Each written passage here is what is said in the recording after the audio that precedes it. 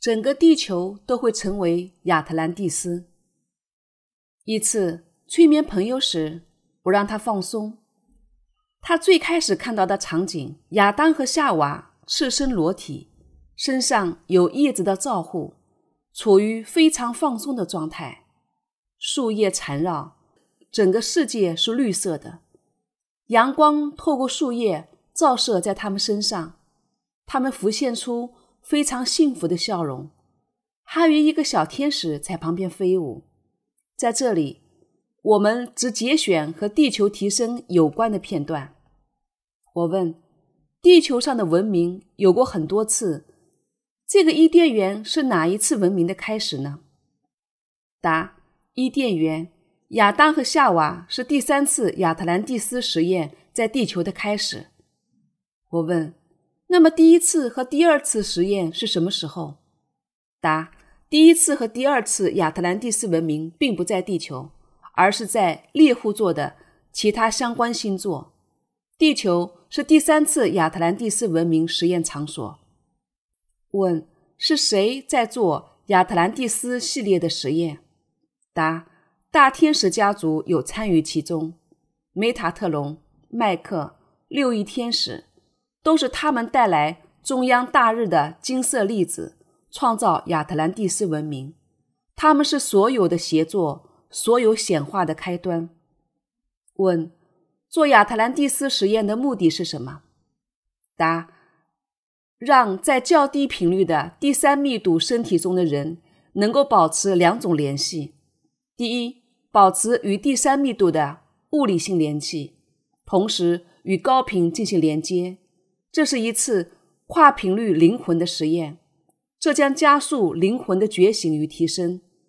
这是非常有益的灵魂测试，也可以理解成为演化的过程。这是被验证的有效的灵魂延伸过程，所以它会进行第二次、第三次。问：如果这个实验成功了，会带来什么样的影响和意义呢？答。所有灵魂体验提升过程非常迅速，也就是为什么所有灵魂愿意通过在地球转世。其实所说的是亚特兰蒂斯特有频率下的转世方式，也是为地球所创造的共同的修炼场所。问：第一次和第二次实验是为了最终应用到地球上吗？答：第一和第二次实验有他们的结果。一些灵魂可以成功的进入其他的更高密度，而同时亚特兰蒂斯也受到过一些侵扰和毁灭，但这正是代表了它的有效性，才会被其他的力量所进行控制。但这个实验非常成功，需要继续进行下去，也需要在地球上恢复。问：那亚特兰蒂斯这个实验结束了吗？答：第三次的亚特兰蒂斯实验被结束。是由于负面势力将整个地球打入低频，但它其中所保存的巨大智慧已经凝结，保存在水晶和高频之中。所以从这个角度来讲，它取得了一定成果。而我们这一次希望将整个地球提升到一个相当高的频率，而不仅局限于亚特兰蒂斯这个王国。它是一次全新的、完整性的地球灵性提升实验。问，也就是说，虽然第三次的亚特兰蒂斯实验在地球上因为负面的入侵被终止、被毁灭，但他的智慧、成果和经验仍然是被保存下来的，是吗？答：没有错，没有任何的结果会被忘记，所以我们走在正确的道路上。这一次，我们将进入整个地球的提升，它无法被传统的那种方式所摧毁。地球所具有的完全能量将获得全面的提升，也就是不限于某个地点称作亚特兰蒂斯，整个地球将成为亚特兰蒂斯。问：简而言之，这个实验就是在人类的肉体当中活出与神性的连接，活出神的本质，是这个意思吗？答：那是第一、二、三次实验连接中所使用的概念。他强调肉体与神性同在，而这一次，我们希望他能直接进入高频，而不依赖于肉体。所以这一次是完全的提升与飞跃。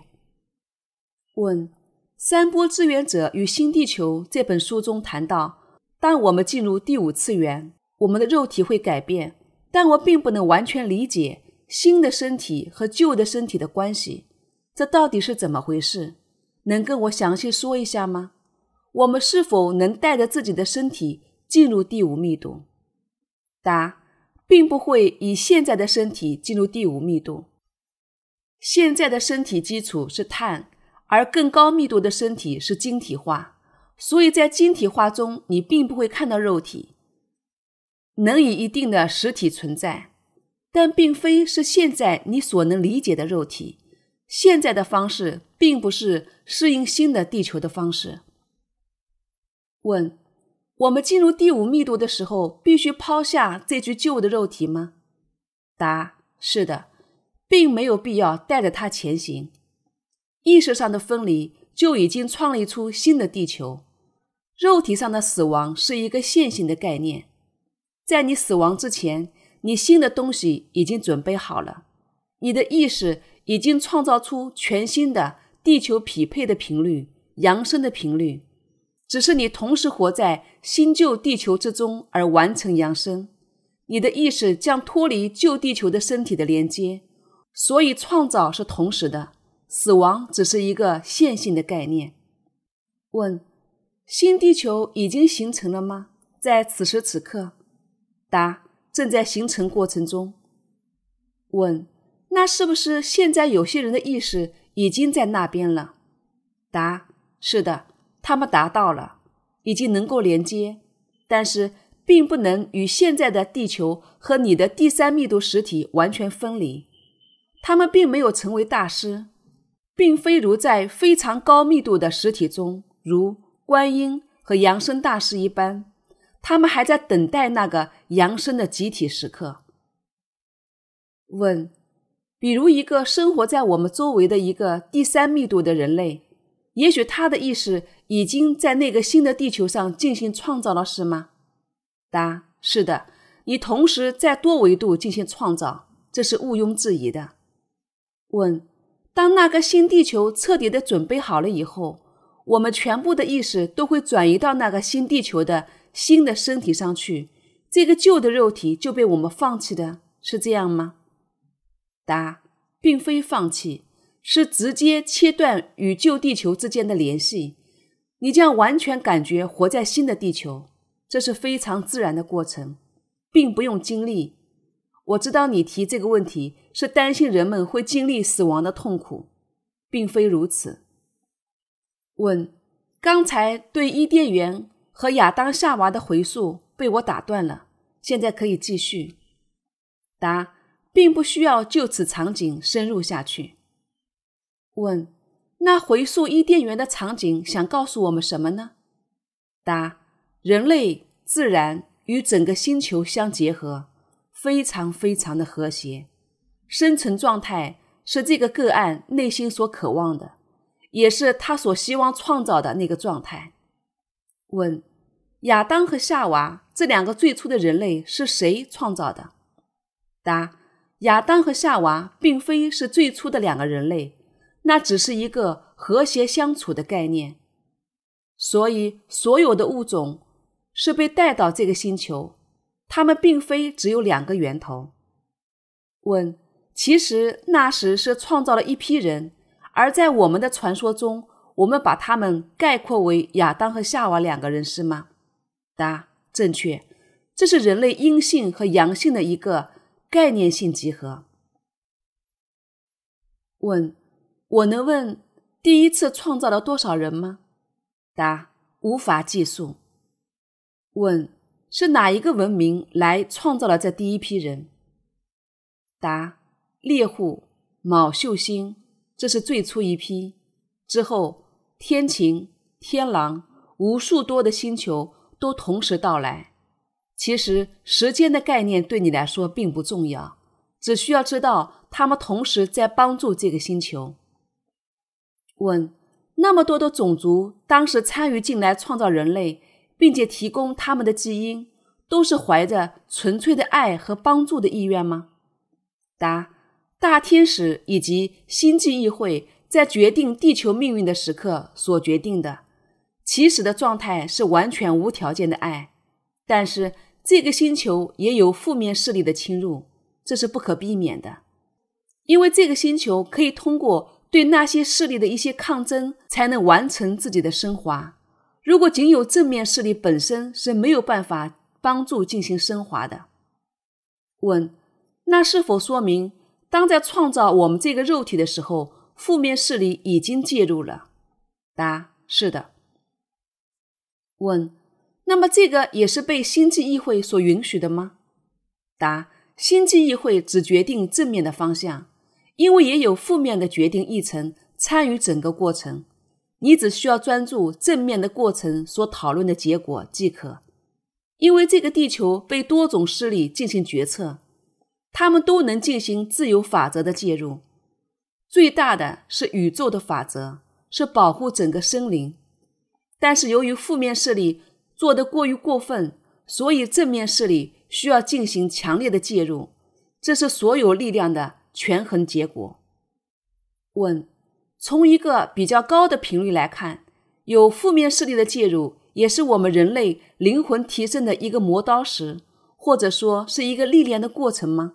我们借由跟这些势力的斗智斗勇，我们才能够升华提升，是这样吗？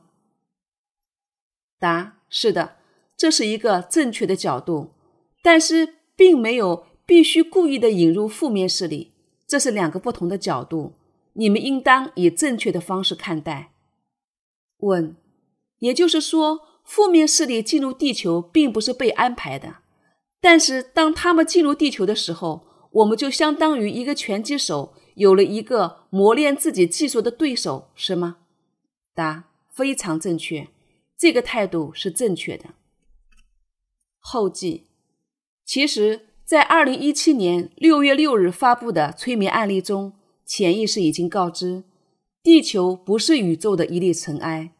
当它进入第五密度，是我们宇宙的能量之源，会向四周散发着它的光辉能量，会疗愈整个宇宙，并且会一直到达第七密度。